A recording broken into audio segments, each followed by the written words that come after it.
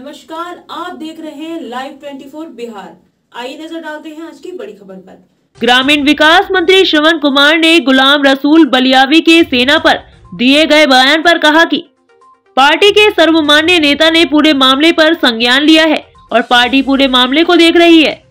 उपेंद्र कुशवाहा के द्वारा उनकी 19 और 20 फरवरी को बुलाई गई बैठक पर श्रवण कुमार ने कहा कि कोई भी व्यक्ति पार्टी में रहकर पार्टी विरोधी काम करता है तो पार्टी उस पर संज्ञान लेती है और आने वाले दिनों में इसका पता चल जाएगा।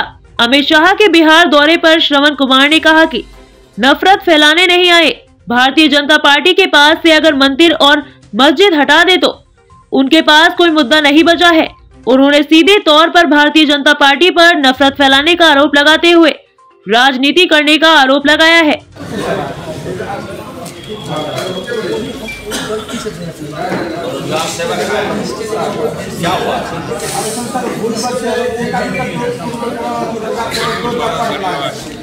के बार सटा लो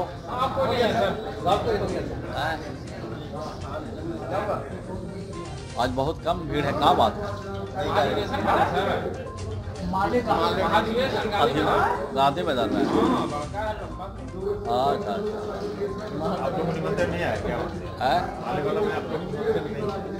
हम बाहर थे।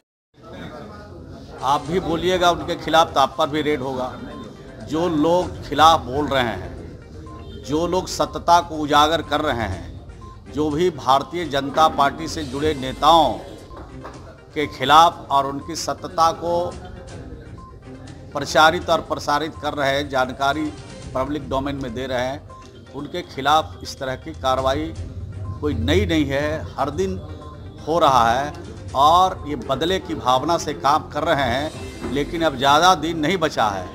2024 में जब सफाया होगा, तब इनको पता चलेगा कि लोगों पर गलत ढंग से कार्रवाई करने का नतीजा क्या होता है। हाँ तो बैठ किया था तो उनको खामियाजा भुगतना पड़ा। जो लोग गलत काम करेंगे, उसका खामियाजा उनको भुगतना पड़ेगा। और देश की जनता सब देख रही है, जब आपको मौका मिला तो अच्छा काम करना चाहिए, नेक काम करना चाहिए, प्रगति का काम करना चाहिए, विकास का काम करना चाहिए, नफ़रत को ख़त्म करना चाहिए, प्रेम और भाईचारा पैदा करना चाहिए, उसके बजाय आप नफ़रत फैला रहे हैं और नफ़रत की दीवार खड़ा कर रहे हैं। तो आने वाले 24 में आपको इसका खामियाजा भुगतना पड़ेगा।